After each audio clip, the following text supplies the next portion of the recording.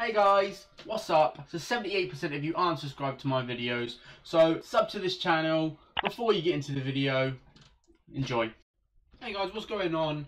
Team of the season is out or started already, so I thought I'd crack this 1083 plus red rating players to see if we can get one. Hopefully, we'd like a walkout from this. Hopefully, I'm going to save the other one, but hopefully a walkout. Okay, a walkout.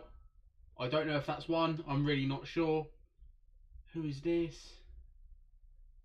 It's definitely one. I'll tell you that. Okay, so we pack one.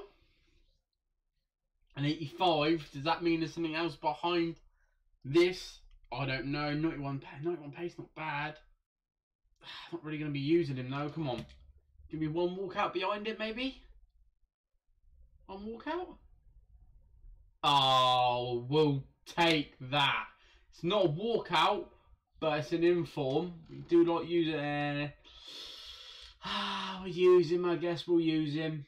85, 85, 84s, 84s, 83s. Ah, am I happy? Am I not? Oh, I would say so. Yeah, we'll go with it because normally we don't get one. yeah, yeah, I'm happy. Do you know what? We got a team of the season when he's first out. How much is he going for? 100k.